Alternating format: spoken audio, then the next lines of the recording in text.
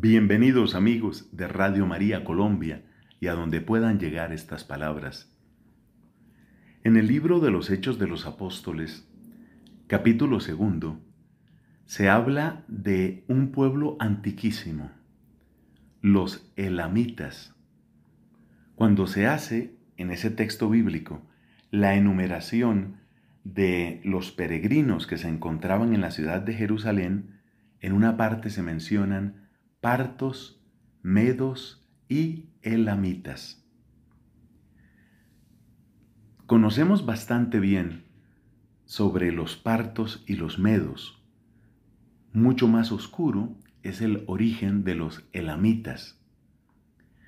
Menciono esto porque recientemente un arqueólogo francés, lingüista además, de nombre François de Sette, ha logrado descifrar el elamita, el idioma que se hablaba en esa parte.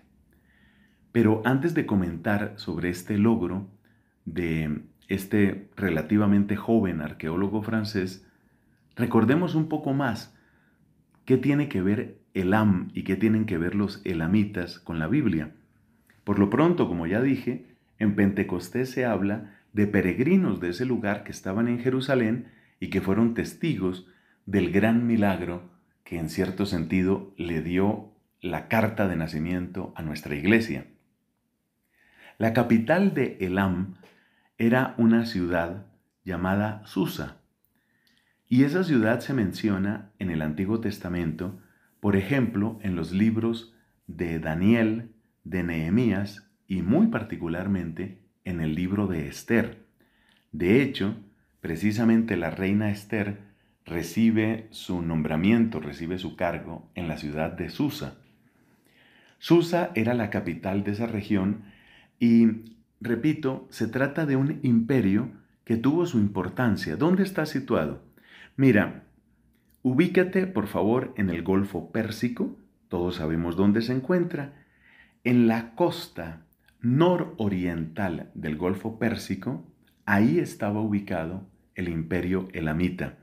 Por supuesto, en diálogo, podríamos decir, en intercambio cultural, comercial y militar con muchos de los antiguos pueblos de esa región, pueblos que tienen mucho que ver con la historia bíblica y en general con la historia del Medio Oriente.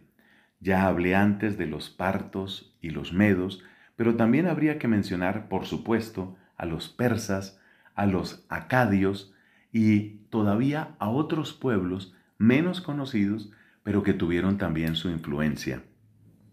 Ese es el lugar donde se encuentra Elam. El problema, el gran problema para descifrar el idioma elamita es que, aunque utiliza un modo de inscripción llamado cuneiforme, es decir, estas, eh, estas especies de marcas que se dejan en barro fresco, que luego se solidifica a través de un proceso de horno, aunque el elamita también utiliza ese camino o ese método, perdón, eh, cuneiforme, su idioma no parece o no parecía emparentado con los idiomas cercanos.